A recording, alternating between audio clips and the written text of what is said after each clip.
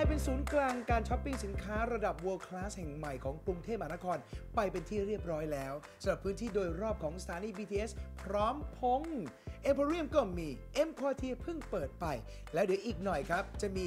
M Sphere ครับ โอ้โห ตามมาติด ๆ เลย นี่ถือว่าเป็นสีสันที่ทำให้ย่าน BTS พร้อมพงนั้น มีความโดดเด่นมากขึ้นกว่าเดิมอีกหลายร้อยเท่า เทียบกับย่านราชประสงค์ที่ถือว่าสูสีกันเลยทีเดียวนะครับ ทีนี้มาดูความสะดวกสบายเรื่องการเดินทางกันบ้างดีกว่า แน่นอนอยู่แล้วครับว่า ใจกลางสุขุมวิทแบบนี้ จะไปไหนมาไหนก็ใกล้ไปหมด ระยะทางไม่ใช่ปัญหาครับ แต่ที่มีปัญหากับผมทุกวันและคนกรุงเทพมหานครคือรถติดนั่นเองครับ เป็นธรรมชาติที่หลีกเลี่ยงไม่ไหวจริง ๆ ทั้งถนนใหญ่ทั้งในซอยเล็กซอยใหญ่ เพราะฉะนั้นเนี่ยรถไฟฟ้าเนี่ยจึงเป็นตัวเลือกที่ดีที่สุดเลยทีเดียวครับ มาดูบ้านใหม่ของเราในย่าน BTS พร้อมพงษ์กันดีกว่า